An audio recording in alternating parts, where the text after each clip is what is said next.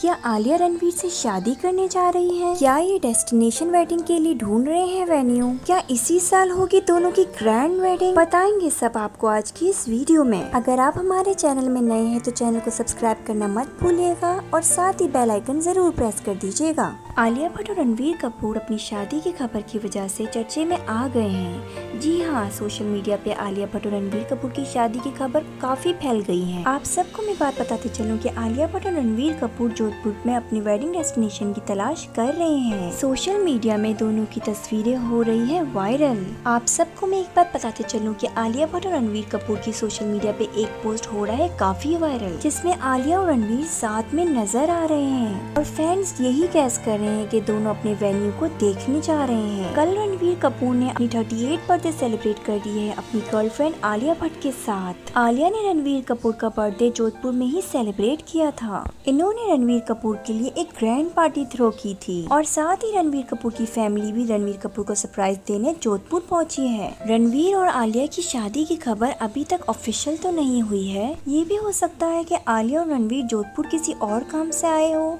लेकिन 50 परसेंट यही गारंटेड है कि रणवीर कपूर और आलिया भट्ट अपनी वेडिंग डेस्टिनेशन प्लान करने के लिए जोधपुर आए थे। अब इसमें कितनी सच्चाई है वो तो वक्त ही बताएगा। लेकिन आप हमें कमेंट में ज़रूर बताइएगा, क्या आप रणवीर और आलिया को शादी के बंधन में देखना चाहते हैं? और अगर आप रणवीर और आलिया के फ़ैन हैं तो इस वीडियो पे एक लाइक तो बनता ही है।